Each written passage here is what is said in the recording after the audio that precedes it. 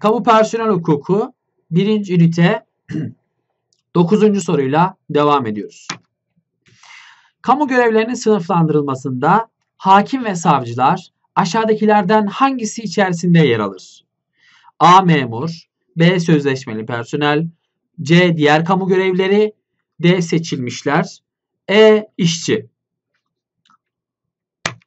Arkadaşlar pozitif hukuk ve anayasa mahkemesi kararları gibi kamu hukuku doktrininde de baskın olan görüş, diğer kamu görevlerinin statü hukukuna bağlı olarak istihdam edilen hakim savcılar, askeri personel ve akademik personelden oluştuğu yönündedir. Bu sebeple arkadaşlar doğru cevabımız C şıkkıdır.